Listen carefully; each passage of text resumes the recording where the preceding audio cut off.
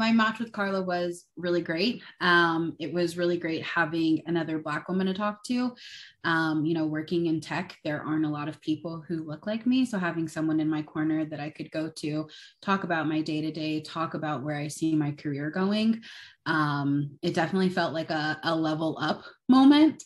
Um, you know, we talk about how important it is to have have mentors and sponsors, and that's not always the case for Black and Brown people, um, especially women of color. So having the opportunity to go through the six weeks and have someone to talk to um, about my career, about things that I'm working on, um, and just having that support um, was amazing.